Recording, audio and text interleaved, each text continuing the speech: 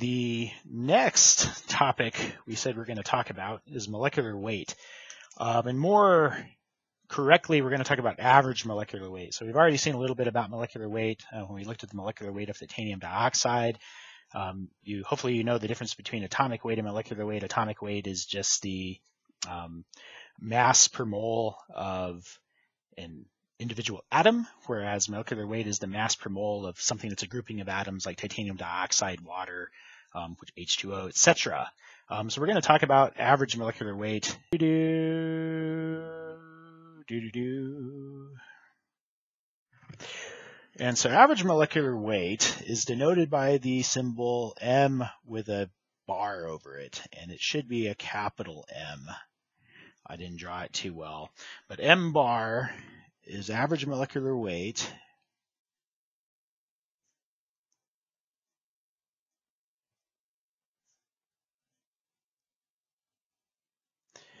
average molecular weight, and that is the summation of the mole fraction of what you have.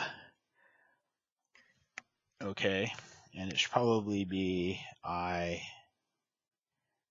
i equals n or something like that.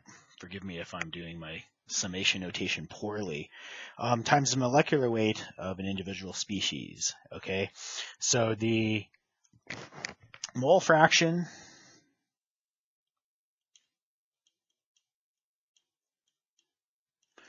times the molecular weight.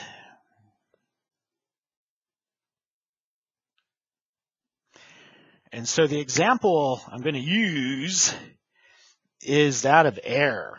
Okay, so we said earlier air is um, 79%, aye, 79% oxygen, or sorry, nitrogen, excuse me.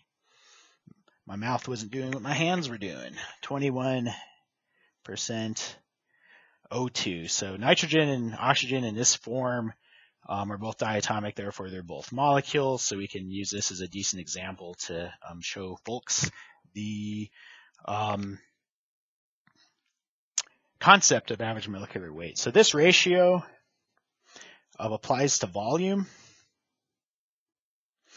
And you may remember this from chemistry but the volumetric ratio of an ideal gas equates to the molar ratio of an ideal gas. So remember that because it comes in handy later in class. Um, volume ratio and also molar ratio. Um, and again, this is a rule that applies to ideal gases. I'm sure it was named after a scientist whose name I've probably forgotten now. Um, in this case, let's, let's, do things in terms of kilogram moles just to get people familiar with the units. Um, so the way we would write it, so we look at our summation notation, okay, so we have mole fraction times molecular weight, okay, and so we want to set up a summation now. So the molecular weight of air is equal to, so our molar ratio, um, we can also put slash if we want to keep semantics, or I guess consistent, is the word I'm trying to look for. So the um, average molecular weight of air is the combination or the summation of the mole fraction of nitrogen in air times the molecular weight of nitrogen or diatomic nitrogen plus the mole fraction of oxygen in air times the molecular weight of the diatomic oxygen in the air. And so to write that out quite simply, and it doesn't really matter the units, but we'll just use um, kilogram moles for funsies. So 0.79, which is the um, YI of nitrogen, times molecular weight of nitrogen. So there, there are um, 28 kilogram kilograms, excuse me, in one kilogram mole of N2 plus 0.21 um, and I probably should put air somewhere and it's not going to cancel so it gets kind of goofy, but 0.21 um, moles of O2 and we'll put kilogram moles. Okay, that's the fraction. Um, one, and I should have put this. So one. All right.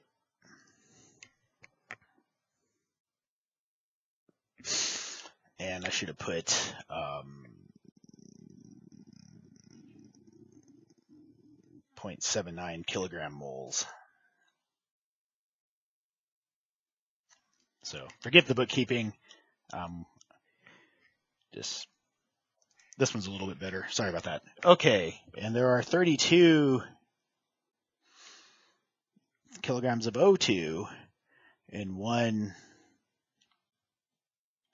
kilogram mole of diatomic oxygen.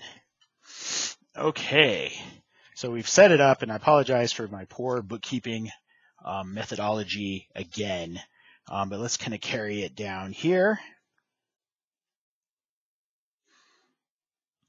Is equal to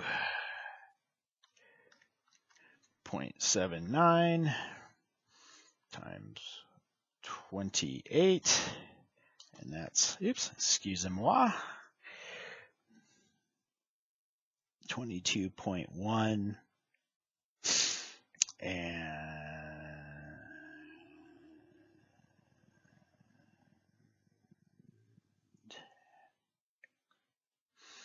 plus 0.21 times 32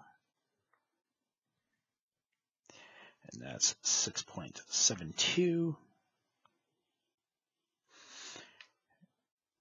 and the units, I, I struggle doing this portion of the course always. And I'm sure there's somebody who knows how to do this a little better than I, maybe even a better YouTube video. Um, but you add them together, and that is equal to 28.82. And so I think in this place it would be kilograms per kilomole. Or kilogram mole. And so again, the same rule applies. Um, there's 20, the average molecular weight of air is 28.82 grams per gram mole and 28.82 grams, I'm sorry, pounds mass, pound mass mole. All right.